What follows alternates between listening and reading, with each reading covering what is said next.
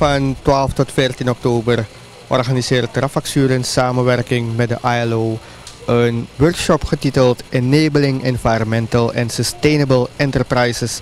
We praten met meneer Berenstein. Ehm, wat is de bedoeling van deze workshop in samenwerking met de ILO?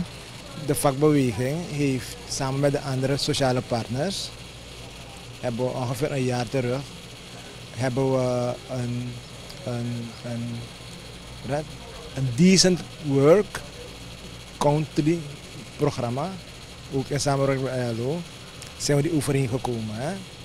En um, in, dat, in dat Decent Work Country program, eh, dat in feite tot doel heeft eh, een, een, een, decent work ja, als gemeengoed ja, te introduceren. Dus dat men in feite duurzame jobs creëert, ja, om op die manier ook een duurzame samenleving te creëren.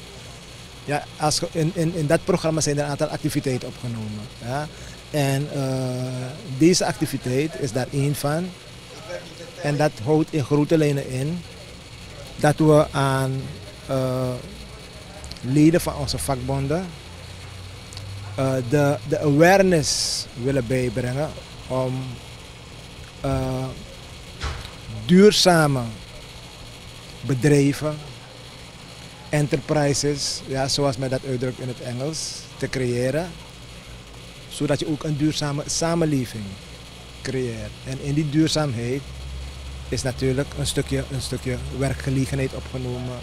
Ja, er is een stukje continuïteit van eh, bedrijfsvoering opgenomen.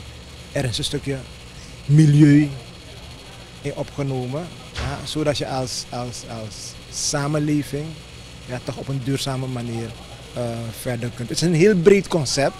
Ja, dat in feite alle, alle, alle, alle kanten raakt van, van die samenleving. Wat is de plaats van de ILO in deze? Nou, de ILO kan je zien dus als, als een soort facilitator.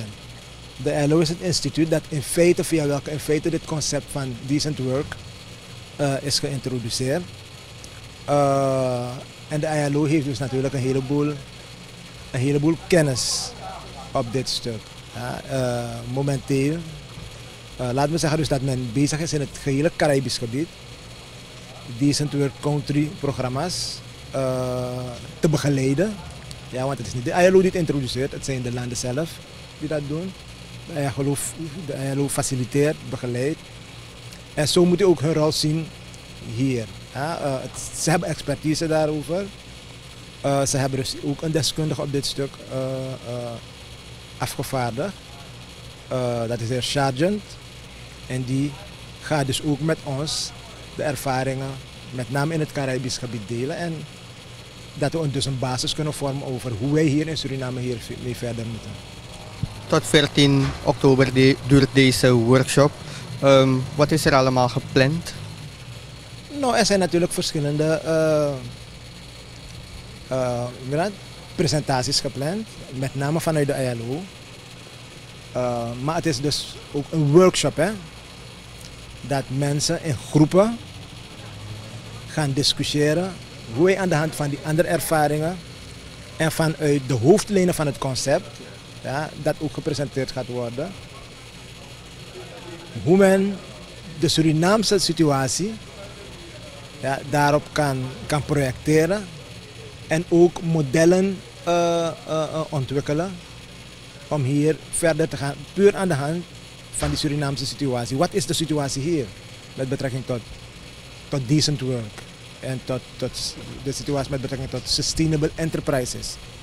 Ja, zodat we dus toch wel een concept kunnen, kunnen, kunnen hebben aan het eind van die workshop, waar wij als vakbeweging in ieder geval verder mee kunnen. Is er nog sustainable work hier in Suriname? Als we de afgelopen periode checken, terugblikken op eh, de vorige week, I'm Gold, waar de contractors een beetje in het geding zijn en ook bij de Suralco. Ja, ja dus, dus dat is eh, met name dus eh, de, de, de, de, de, de reden waarom we vinden dus dat deze workshop heel goed uitkomt. Omdat, kijk, de drivers ja, van, van werkgelegenheid, het creëren van werkgelegenheid. Ja, uh, de trekkers binnen de wereld. Hè? En, en, en hoe, hoe werkgelegenheidspatronen zich ontwikkelen. Ja toch? Zijn gezet hier en overal ter wereld in de afgelopen decennia door multinationals. Als je kijkt dus hoe het, het, het, het, het fenomeen van contractarbeid hier is gekomen. Dat is via de Suralco, via de Alcoa. Het is de eerste maatschappij die hier in feite vaste banen heeft omgewisseld, laat me dat zo zeggen, voor contractbanen. Ja, en het is een fenomeen dat wereldwijd toen is geïntroduceerd. Wat je ziet, dat Surinaamse bedrijven, Surinaamse ondernemingen, dat hebben overgenomen. En u heeft gelijk als u zegt van, dat is alles behalve duurzaam.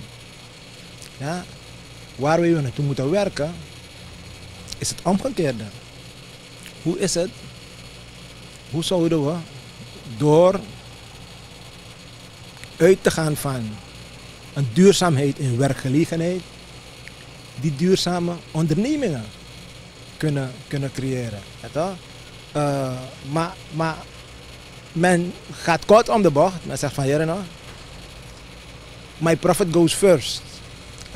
En vaak is het niet eens dat, uh, laat me zeggen, het, het schrappen van banen. Ja, als men een goede analyse maakt. Vaak is dat niet eens nodig. Ja, maar het, wordt gezien als de wet van de, de minste weerstand.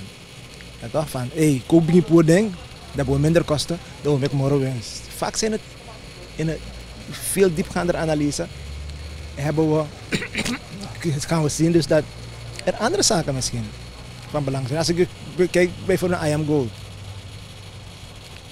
Ja, en, en, en, en uh, men heeft, uh, men zegt dus dat vanwege uh, die, die afnemende winstgevendheid men banen moet schrappen. Maar die marge, ja, je hebt hun productiekosten en je hebt die, die goudprijs. Ze hebben nog steeds een bepaalde marge. Ook al behouden ze die werknemers. Staatsolie heeft ook hetzelfde probleem. Toch zie je dat staatsolie kiest voor een stukje duurzaamheid aan de basis. Hoe kunnen we andere, andere, andere, andere maatregelen treffen om die sustainability te garanderen. En, en, en, en die awareness willen we bijdragen. En natuurlijk tegen multinationals is dat, is dat een hele, hele zware job. Een hele zware struggle die gaat moeten, gaat moeten aangaan. Maar it has to start somewhere. Ja, en wij vinden dat als werkers ja, de groep die, die in feite de eerste slachtoffers worden van wanneer ondernemingen niet duurzaam zijn, ja, dat die, die awareness bij ons moet beginnen.